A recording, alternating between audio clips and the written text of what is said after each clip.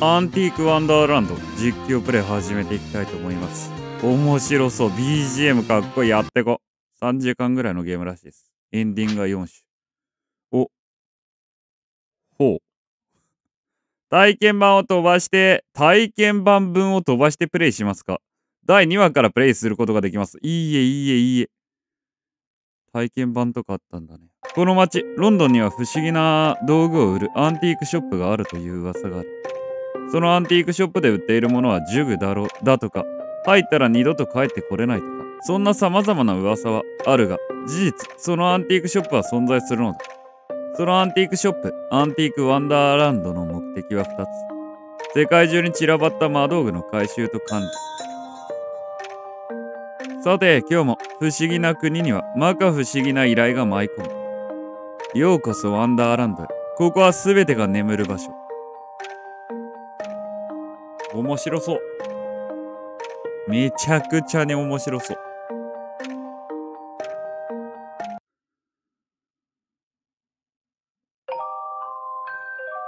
目が覚めたら全ての記憶を失っていた。自分の名前も、これまでのことも全て。けれど手を差し伸べてくれた人がいた。その人は私の父親らしい。血は繋がっていないが彼はそう言った。アーリー・キャロル。それがお父さん、ルイス・キャロルが教えてくれた私の名前。ルイス・キャロル聞いたことあるな。不思議な国のアリスに。けれど、お父さんは3ヶ月前に死んだ。自分の心臓に包丁が刺さった状態で自殺だった。記憶もない身内もいない。何もなくしてしまった私にまた手を差し伸べてくれる人がいた。その人はこう言った。僕と共に働かないか。やけに赤い瞳が印象に残る人だった。ウサギなのかな？第1話、ハンプティ・ダンプティが落っこちた。チェシャ。それでさ、僕はその時情報だけもらって急いで逃げたわけ。本当にあの時は大変だったよ。ラビ。はは、それで君はあの時ボロボロだったわけか。珍しい君の姿に笑いそうだって。嘘、心配してくれると思ってたのに。まあいいけどさ、僕も頑張ってるんだからね。もちろんそれは承知の上だぞ。いつもありがとう、チシャ、チシャ君。本当に思ってる。相変わらず君もうさんくさいね。褒め言葉として受け取っておくよ。もう、あ、それとこれ、僕が手に入れた魔道具だよ。ありがとう、助かる。アーリー、美しい。お待たせしました、紅茶です。先生のはミルクと砂糖入れておきますね。ああ、ありがとう、アーリー君。やっぱり君の入れる紅茶は美味しいね。ね、このために来てるって感じ。のんきに話してましたけど、依頼があってここに来たんですよね、テシャさん。あ、ああ、そうだった。つい話し込んじゃったよ。おお、そうだったのか。アーリー君の紅茶を飲みに来たのかと。そんなわけないじゃないですか。だいたいこの人がここに来るの、依頼の時だけですよ。情報屋ですし。ここに普通の客なんて来るわけない。って、そう言ってたのは先生ですよ。ああ、そうだった気もするな。それで依頼だったっけ？うん、そうそう。そうだ、思い出した。最近隣町で謎の悪夢がはびこってるって噂があるんだけど知ってる？悪夢？一週間前から隣町では住人がよく悪夢を見るらしい。しかもその悪夢によって発狂してしまう者もいるとか。夢を見て狂ってしまう。それっておかしいよね。つまり僕もちょっと調べたんだけど、何かしらの魔術やら魔道具やらが関わってる可能性がある。それに関して君たちに調査してもらいたいと思ってこの話を持ってきたんだ。隣町でそんなことが。悪夢で人が死ぬなんてにわかに信じがたいですけど。ふむ、なるほど。なぜ君はその事件を調べていたんだい？ああ、まあ好奇心かな。好奇心は猫をも殺すのに。あはは、僕はそんな軟弱な猫ちゃんじゃないので好奇心ごときで死にません。独特な空気感でやってるね、こいつら。わかったよ。その依頼引き受けよう。アーリー君もそれで大丈夫かなあ、はい。問題ありません。ほんと助かる。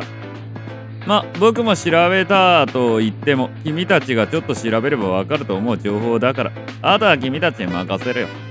それじゃあ僕はこの辺りでよろしくね。また何か情報が手に入ったら連絡するよ。あ、はい、ありがとうございました。このラビってやつに拾われたってことなのかな？一緒に働かないかって。赤目だしね。さて、アーリー君。初めて君が参加する依頼だ。今回でここの仕事を覚えてってくれたまえ。私も。わかりました。じゃあ早速隣町へ調査へ。それもいいが、まずここで調べられることを調べておこう。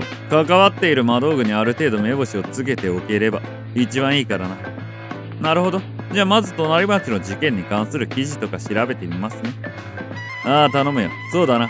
それが調べ終わったら書庫に来なさい。書庫はい、わかりました。調査開始。ほう、どういうゲームだ？リアルだな。隣町の事件について悪夢について。まずネットで隣町に関する記事がないか調べてみよう。Google みたいなので調べてんな。クリック !OK。あれ？記事出てこないな。そんな奇妙な事件があるなら何かしら出てきそうだけど。うーん、なんでだろう？あとは、悪夢に関係するモンスターとか探したら何か手がかりになるかも。バクとかだよね。悪夢に関するモンスター。クリックあ、これかなハッグ、またはハグ、ハグはイギリスの伝承に登場する怪しい老婆である。精霊妖精あるいは悪霊であるとされる。鬼ババや妖婆とも翻訳され、意地の悪いあるいはしばしば醜い老婆の姿で表される。その性質は魔女に近く眠っている者に悪夢を見せることができるとされる。ただし、魔女はあくまでも人間の一種であるが、ハッグは精霊などの一種である。また、人を食べる者というものもいるという、ヘンゼルとグレーテルの物語に登場した老婆も、このハッグであるとされる。ああ、そうなんだ。悪夢、怪物の仕業なんだ。よし、こんなものかな。あんまり情報は得られなかったけど、多分先生が何とかしてくれるでしょ。先生のところへ行こう。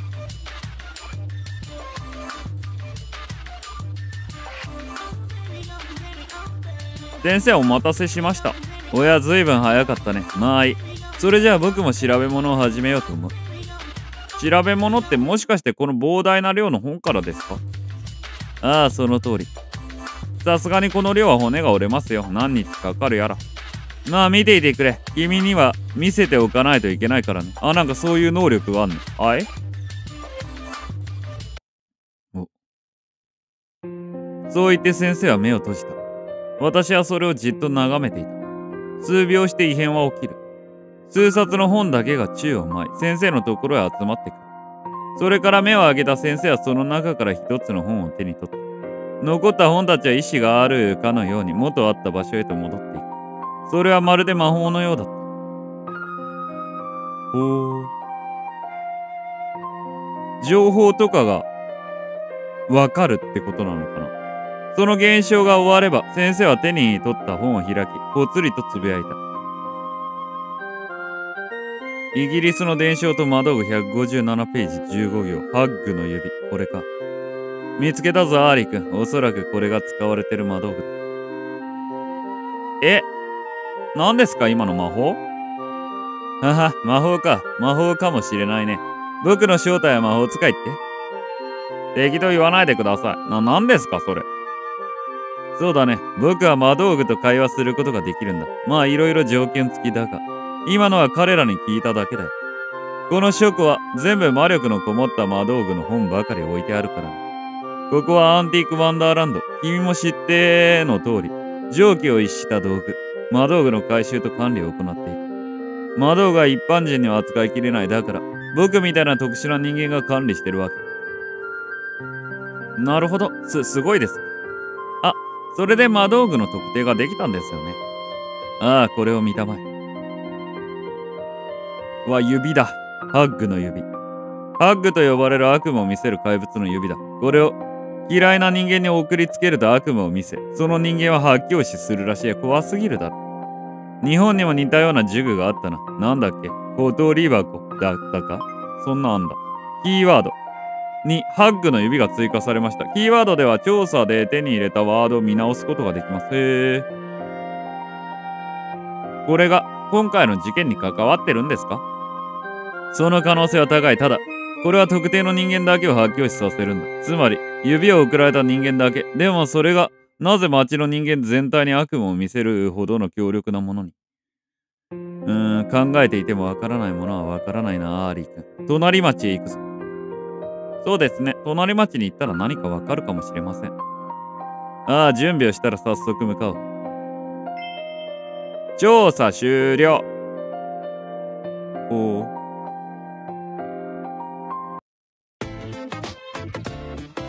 おしゃれな BGM だな。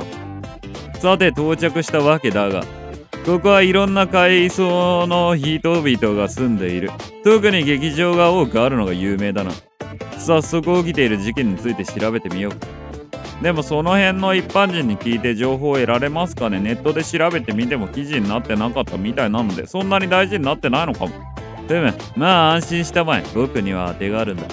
ついてきなさい。わ、わかりました。ここってカフェああ、そうだ、入るぞ。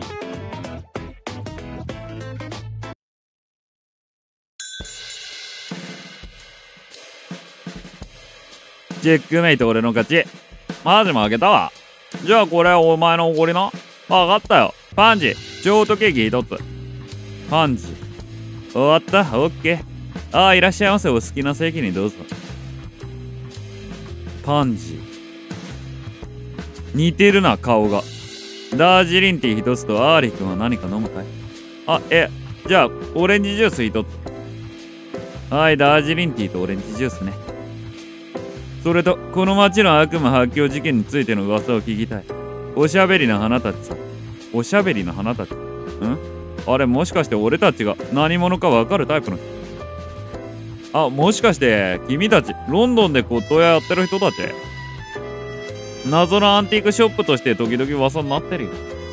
それと別の支部にも来てるでしょ。えー、っと、ラビーホワイトさんああ、こっちも知られていたか、さすがだな。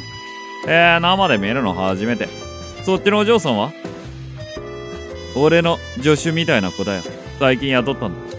アーリーです。よろしくお願いします。俺はパンジーです。よろしくお願いし、お願いです。えっと、先生、ここは？ここ自体は本当にただのカフェだ。僕は彼に用があってここに来た。彼らはおしゃべりな花たちと呼ばれる噂同好会に所属する者たちだ。噂同好会の名の通り、彼らは噂を集めていてイギリスのどの町でも支部はあって、どうでもいい噂からオカルト系の噂まで様々な噂が集まるんだ。信憑性はともかく噂に関する情報を集めるならここが一番いい。な、なるほど。それで町の悪夢発狂事件だよね。ああ。知ってる知ってる。ではなぜかニュースにはなってないからなんかここでも事件じゃなくて都市伝説みたいな扱いになってるよ。悪夢見たものが発狂死する。怖いね。俺が知ってるのは街の中心部で起きていること。被害者の年齢や性別に共通点はないこと。外部では一切ニュースになってないことくらいかな。キーワード発狂事件が追加されました。うむこの街の一番中心には何がある？中心にあるのは劇場だね。そういえばあの劇場演者の人が最近怪我をして舞台に上がれなくなっちゃったみたい。あの舞台小規模だけど面白かったのにな。なるほど劇場か。ありがとう助かった。よそろそろ行こうかアリーオレンジジュース飲んでないんだけど。わかりました。あもう行っちゃうの？もっとゆっくりしてほしかったけど。まあ忙しそうだし止めないよ。気をつけてね。ああまた来るよ。えオレンジジュース飲んだ私。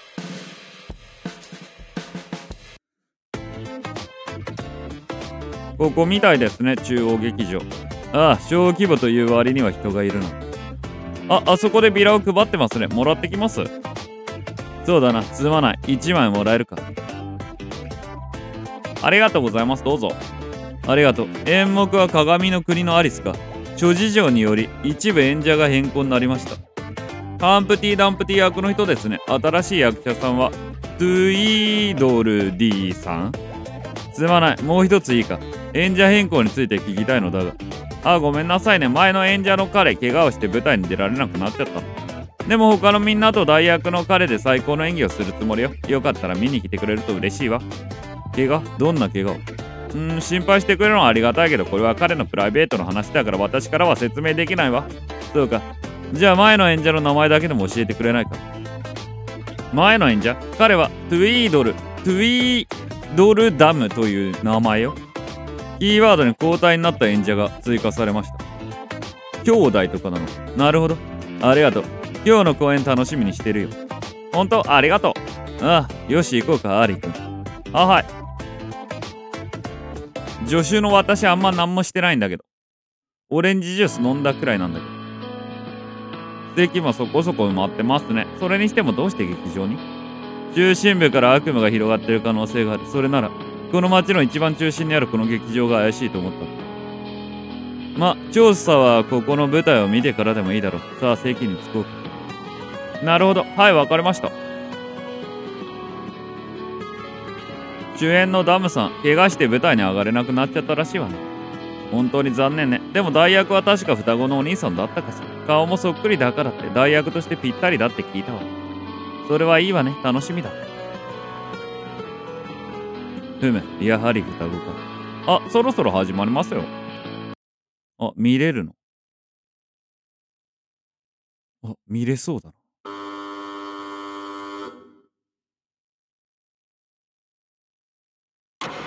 え、いきなり？えああ、事件が起こってそうだな。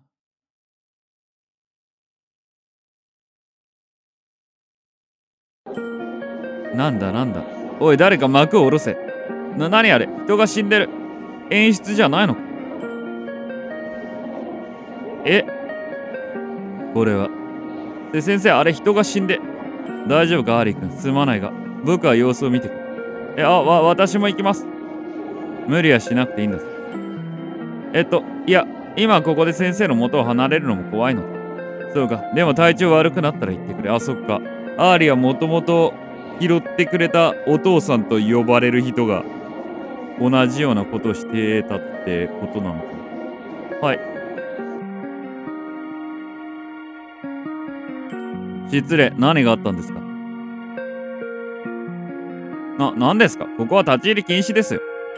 ああ、すまない。私はこういうものでした。探偵？はい。ほら、ここに証明サインもある。本当だ、探偵さんなんです先生、探偵なんかじゃないですね。だとしても今言っちゃダメだ。し、猫。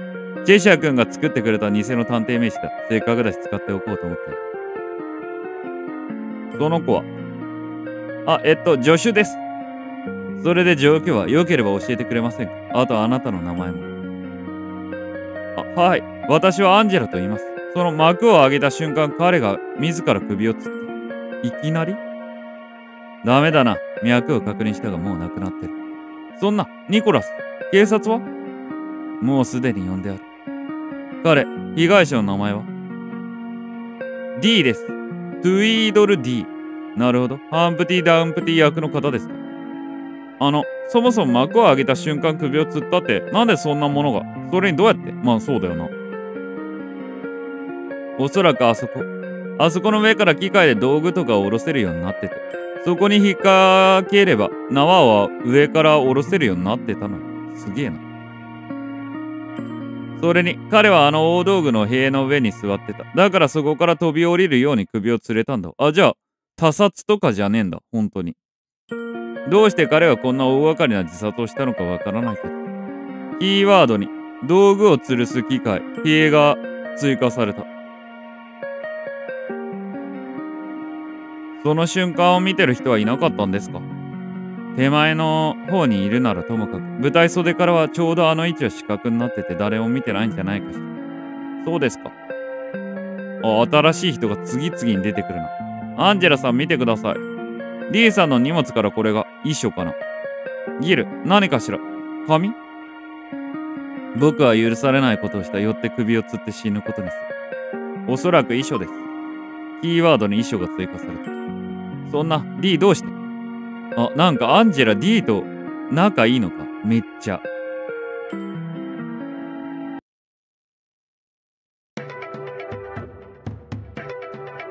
失礼。現場はここか？あ、お前がニコラスじゃなくて警部。はい。もしかして警察の方ですか？ナイトハルト。ああ、私は刑事のナイトハルトだ。君たちは関係者か？あ、えっと、私たちはそうですけど、彼らは？彼らどうも、探偵をしているラビ・ホワイトです。証明サインもあります。探偵？えー、本当に探偵みたいだな。はい。そっちのお嬢さんは？じょ、助手のアーリー・キャロルです。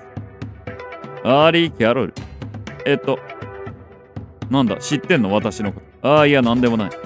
それで探偵がなんでここに？決まってるじゃないですか。この事件の捜査に協力したい。ああ、別にいいけど余計なことはするなよ。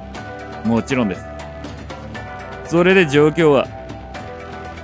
はい舞台の幕を上げた瞬間彼 D が首を吊って自殺したんです彼女アンジェラさんによると彼はあの大道具の塀の上に座っていて首吊りの縄小道具を下ろす機械に引っ掛けたら下ろせるのでそこから首を吊った可能性が高いとはい今日の演目は鏡の国のアリス最初はハンプティ・ダンプティの詩から始まるんですよなのでハンプティ・ダンプティ役の彼はあの塀の上に座っていたんですなるほど。じゃあ彼は自殺と。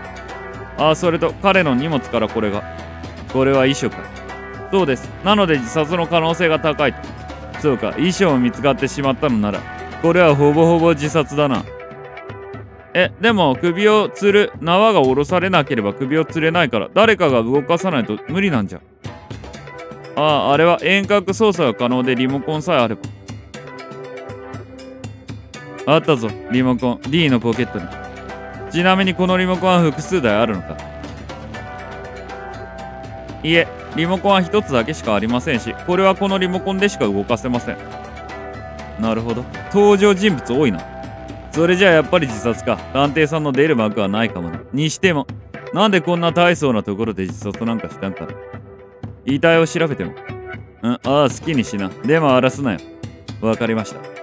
あ、じゃあ私たち着替えてきてもいいですか？さすがに衣装のまま事情聴取するのもあれですし。構わねえよ。ありがとうございます。自殺じゃない、ないんだろうな、でも。何か分かりましたか、先生？首を吊った後以外に外傷はなしか。キーワードに遺体の状態が追加されました。そのあれなのかな？双子のもともとハンプティ・ダンプティ役するやつと揉めてたりしたのかな？怪我させたのがその代わりの役のやつでみたいな。そういう話なのかな？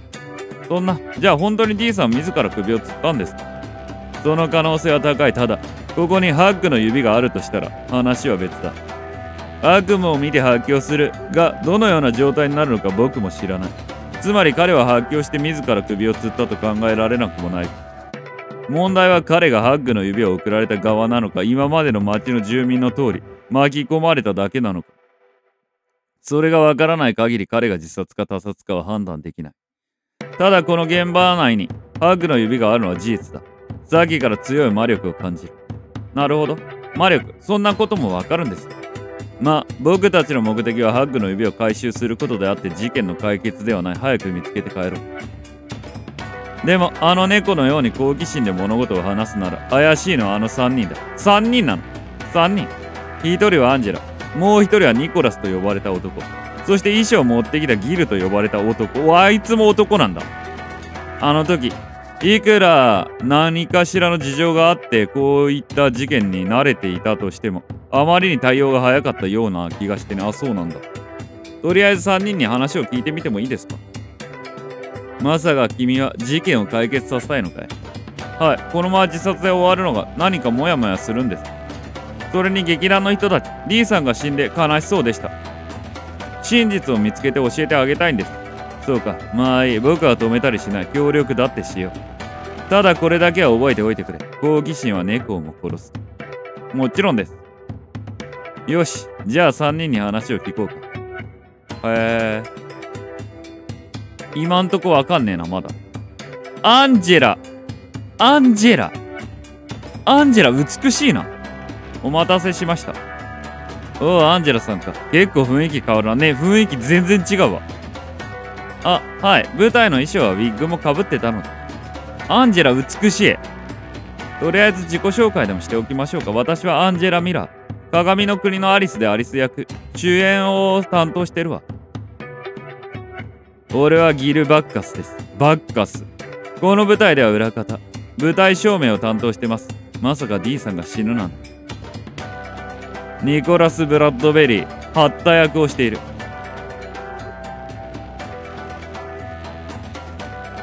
それでこの3人が怪しいと睨んでるのか探偵さん。えそうなんですか？俺たち容疑者ってこと？ああいえ。とりあえず最初特に率先して動いてくれた3人にお話を伺いたいと思い。さてアリ君まずは3人に話を聞こう。はい。ほう。調査開始推理ゲームなのかな？誰に話を聞く？セーブさせてくれ。一旦。セーブはねえのか？まあアンジェラに話聞くか。アンジェラ。一旦セーブしとくかここら辺で。悲しいけど D の死は自殺なんじゃないの？その可能性は高いですがもう少しだけ調べたく。そそれで何を聞きたいのかしら？何を聞く？ほう。トゥイードル D についてだよねまずは。D さんってどんな人か教えてもらえますか？どんな？えっと普通に高青年で周りの印象は良かったみたい。私から見てもいい人だったわよ。それくらいしか。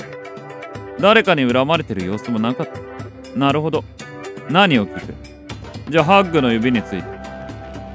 なんか劇場内で変なものを見ませんでした？こう指みたいな形のやつ。指見てないわね。そうですか。ありがとうございます。じゃあもう聞くことねえな。D どうして？アンジェラは仲良さそうだな本当に。D と。じゃあギール。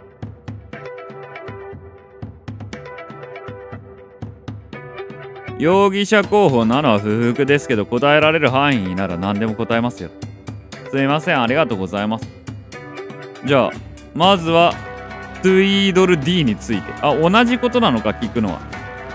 トゥイードル D さんってどんな人だったんですか？どんなですか？うん普通にいい人でしたよ。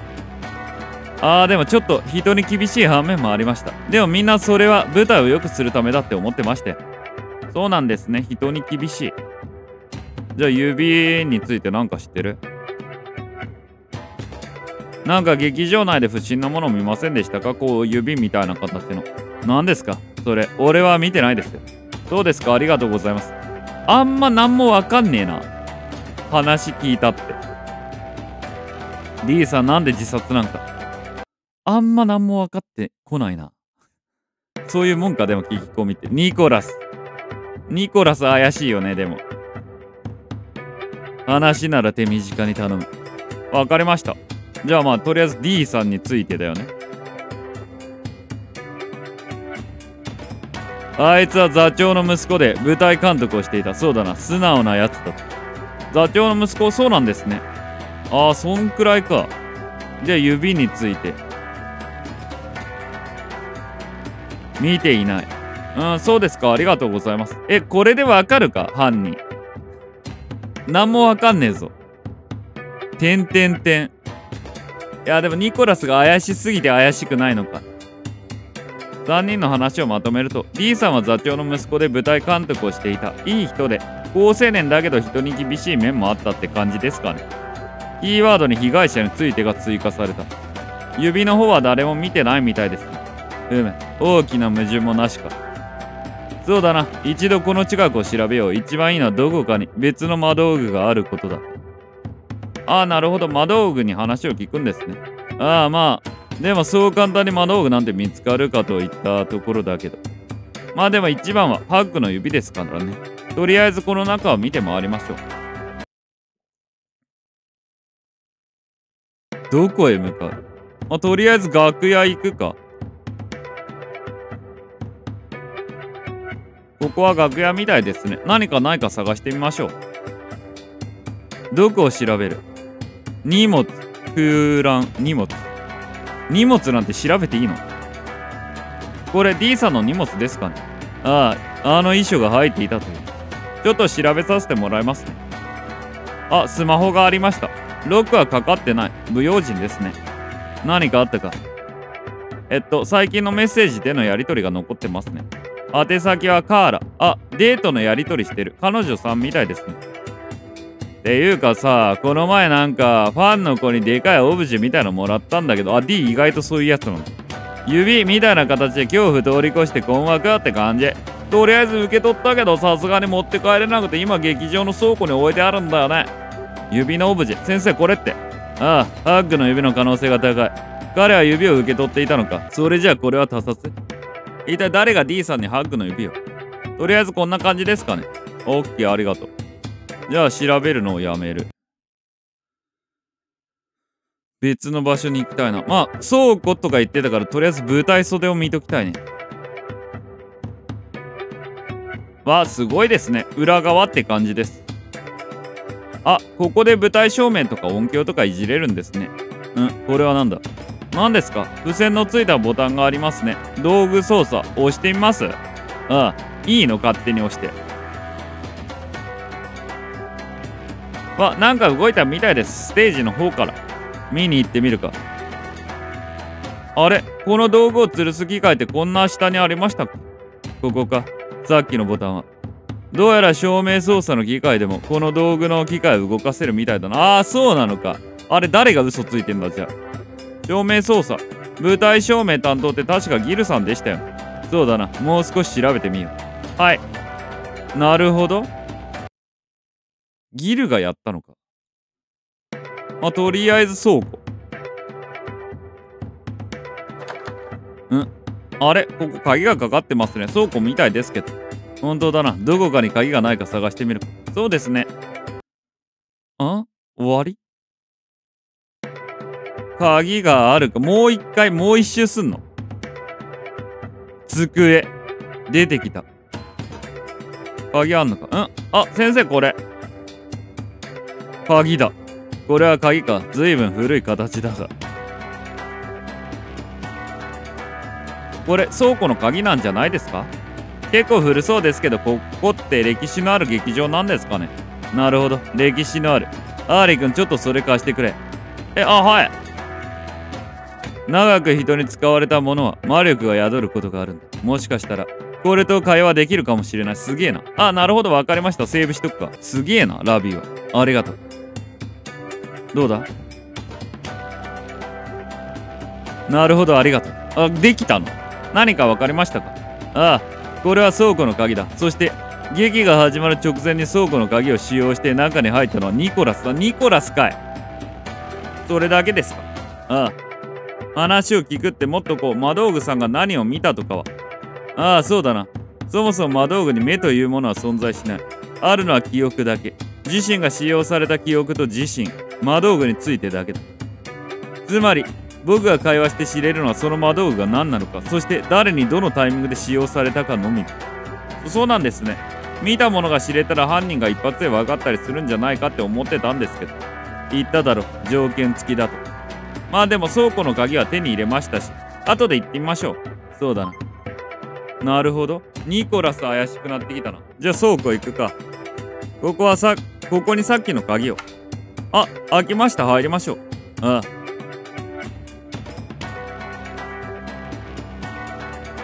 これは、何ですかこれ。うわ、指じゃん。そこに、普通の指の10倍近くのある大きさの指が置いてあった。あオブジェみたいなこと言ってたもんな。まがまがしいな。なんか思った以上に大きいというか、ハッグの指ってこんなに大きいんですか？いや、普通のハッグの指は人間の指のサイズのはずだが。でもこれで納得がいった。この大きさなら置いてあるだけで、街全体を悪夢で覆い尽くすほどの力になってもおかしくない。あ、そういうもんなこれを彼に送った相手は相当彼を恨んでいたようだな。そんな。でもよくやった。これで誰が使用したのか聞くことができる。つまり犯人がわかるわけだ。ああ、こいつに？そうですね。先生お願いします。ああ。あ、でもそんなうまくはいかなそうな空気感になってきたぞ。そう言って目を閉じた僕は、ゆっくりとハッグの指に触れた。意識を集中させ、頭の中で魔道具の姿を思い浮かべる。すると頭の中で声がする。あなたは誰？僕はラビ・ホワイト、ロンドンで骨董屋をやっている。ラビ、何のよ君の記憶、使用したものとタイミングについて知りたい。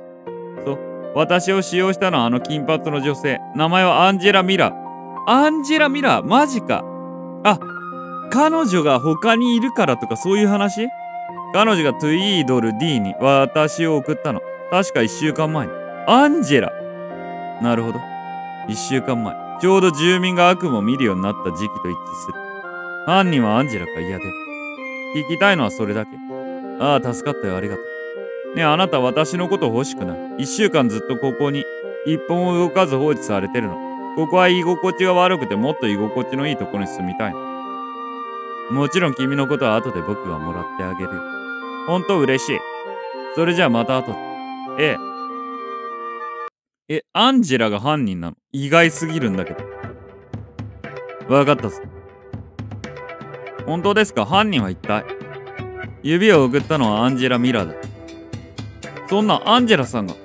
ただ、一週間前からずっとこの指はここにあったらしい。でもニコラスは倉庫に入った上に指を見てないと言った。ああ、そっかそっか。そうだね。そうなんですね。確かに、こんなでかくて目立つなら指みたいなの見たわって言うはずだもんね。こんなに目立つもの倉庫に入ったらすぐわかりますよね。そうだな。一旦場所を変えるか。おー、じゃあ誰なんだ？調査終了。はえー。俺は何もわからんぞ、今はまだ。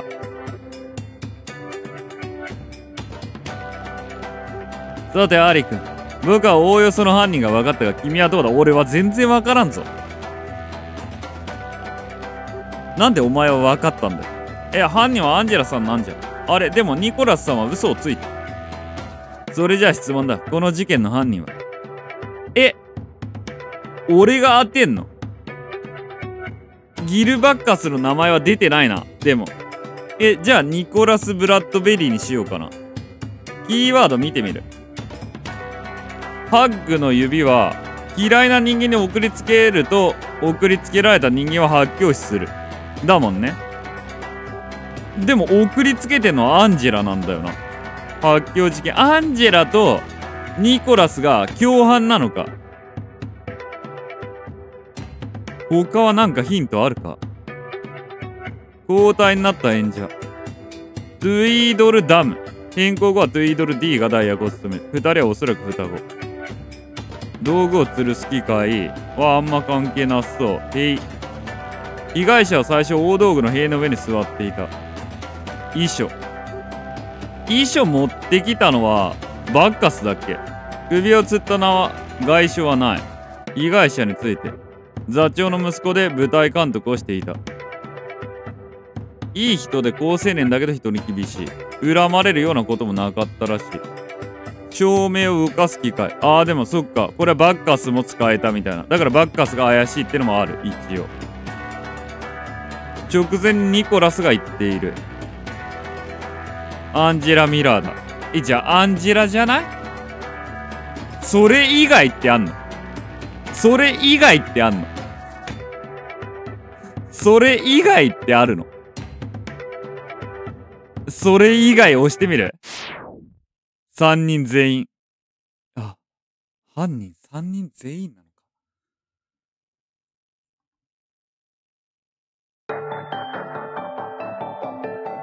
まさか最初から3人全員がグルだったってことですか？わ、そうなのか。その可能性は高い。まず指を送った張本人であるアンジェラ・ミラー。そして指を倉庫で見たのに見てないと嘘をついたニコラス・ブラッドベリー。そして機械をリモコンでしか動かせないといったギルバッカ。そうだよね。嘘ついてたんだ、あいつ。舞台照明担当の彼があの機械で動かせることを知らないわけがないから。アンジェラは確定だがニコラスとギルは共犯か口裏でも合わせていたのだろう。そんな。問題はここからだ。これをどうやってあの3人に突きつけるか。この情報は僕がハッグの指に直接聞いて分かった情報だ。だが、一般人に魔道具に聞いたなんて言っても頭のおかしなやつだと思われるだけだ。ああ、裏取りが必要なのか。裏付けか。それもそうですね。どうしましょう。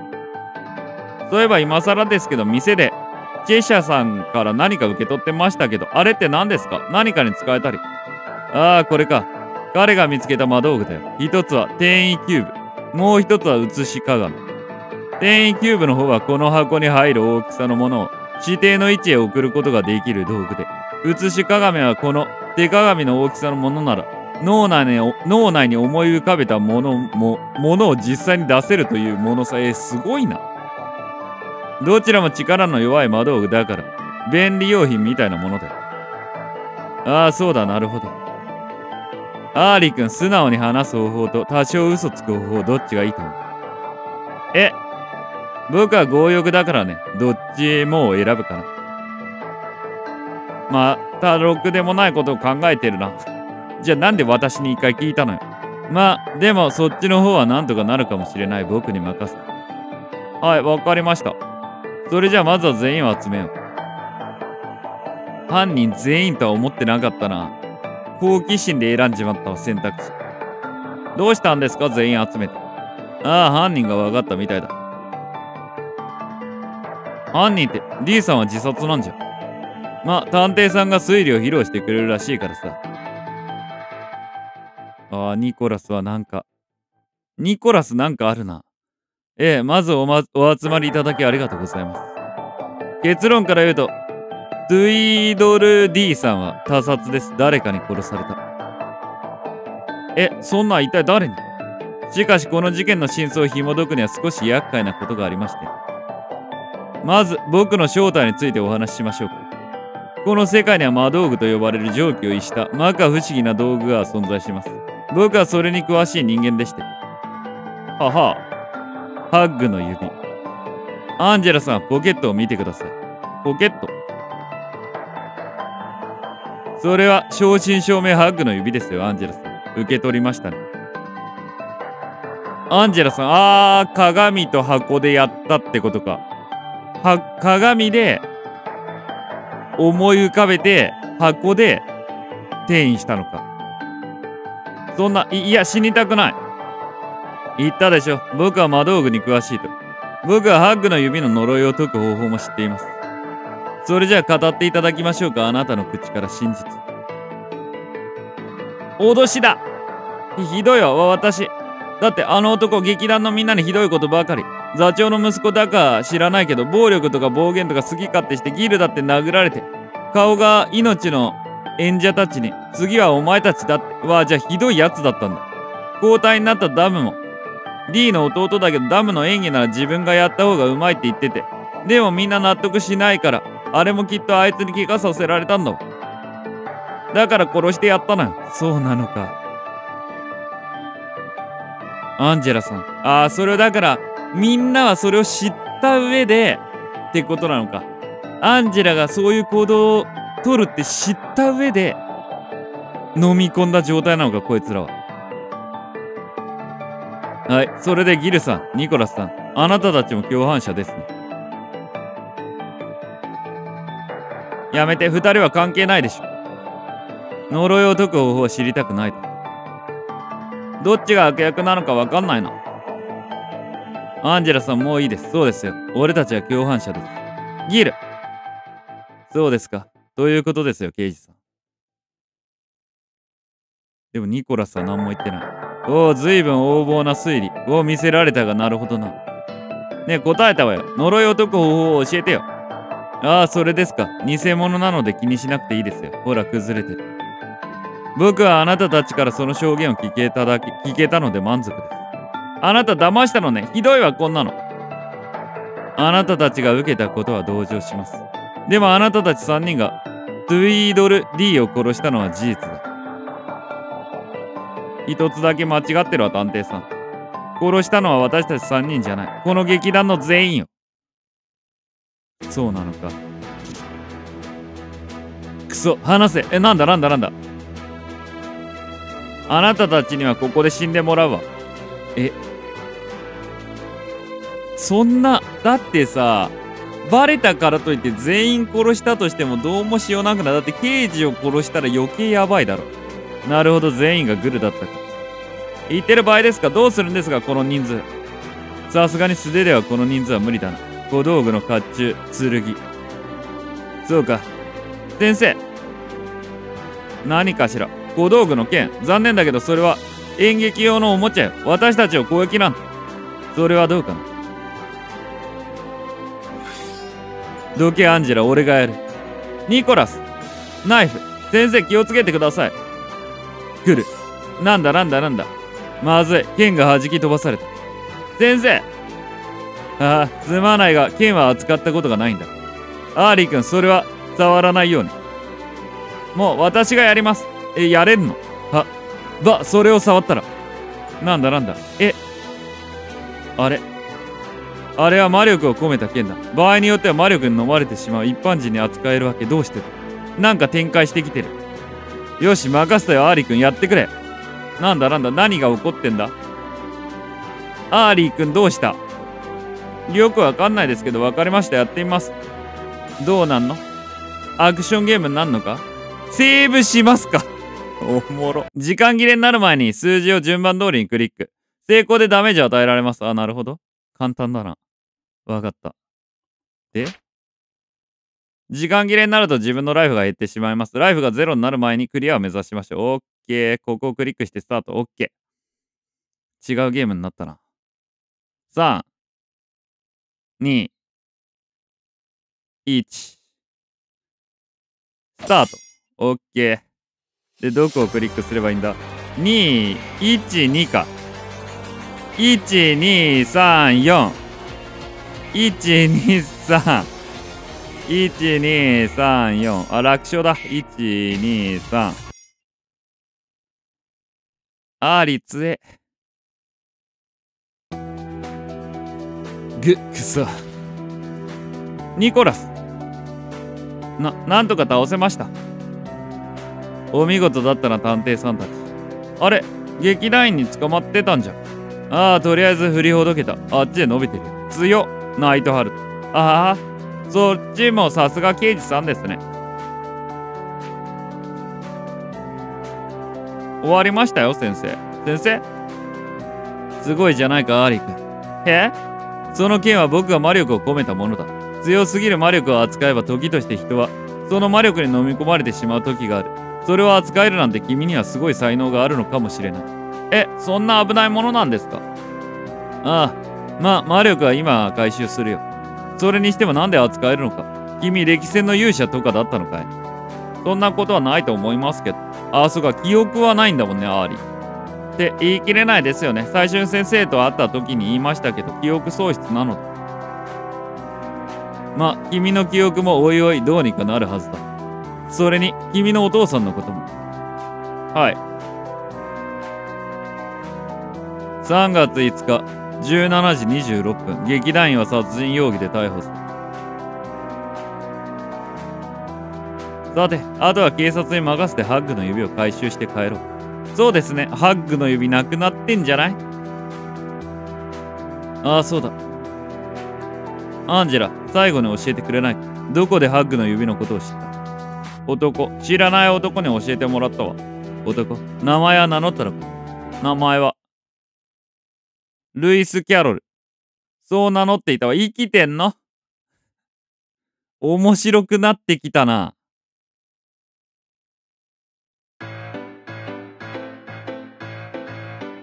いやさすがだね。発狂事件の解決どころか劇場での殺人事件も解決しちゃうなんてさ。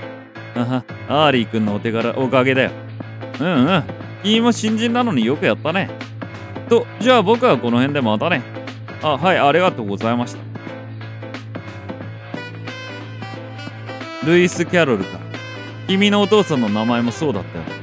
はい、でもお父さんは3ヶ月前に亡くなってて。同姓同名か嫌。まあ今はいいか。とりあえず今回はお疲れ様あり。君がいなければこの事件は解決できなかった。そんなことないですよ。私だって先生がいなきゃダメだったの。へへ。じゃあお互い頑張ったということで。それじゃあ改めて自己紹介しよう。僕はラビ・ホワイト。このアンティーク・ワンダーランドで店主をしている。アンティークワンラ・ワンダーランドの目的は2つ。この世に散らばってる魔道具の回収と管理。改めてよろしく、アーリー・キャロル。はい、よろしくお願いします、先生。おしゃれな終わり方だな。そうして私の初めての仕事は幕を閉じたのだった。ほんの少しの謎を残して。これで第一章終わりなのかな。何章まであんだろう。うわセクシーな人現れた。ハートの女王みたいなやつ。ラビホワイト。満月の夜、ブラッディアイを頂戴する。怪盗レッドローズ。満月、あ、書いてあった下に。怪盗レッドローズ。第2話に続く。面白。チャプターに第1話が追加されました。ほう。セーブしますか？セーブ推奨。はい。カチカチ。時計は時間を進める。僕になんか構わずに。ある日突然消えた女王。僕はまだ追い続けていた。遅れる遅れる。カチカチ。懐中時計の音はまだ止まらない。第2章か。第2話。なぜそのバラにペンキを塗っているの？